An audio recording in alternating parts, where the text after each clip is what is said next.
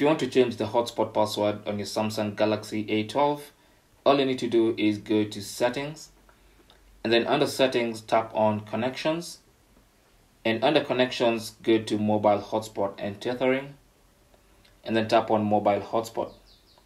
Now this will open your mobile hotspot page where you can see your network name and your password. And so to change this password simply tap on configure and then go to the password section tap on that and then you can backspace to delete the current password and then enter your own password. And with the password entered tap on save and that's it. You can see my password has now been changed to a new one. And that's how to change your hotspot password on the Galaxy A12 thanks for watching. You can leave your comments and questions down below. Don't forget to share and subscribe for more tips.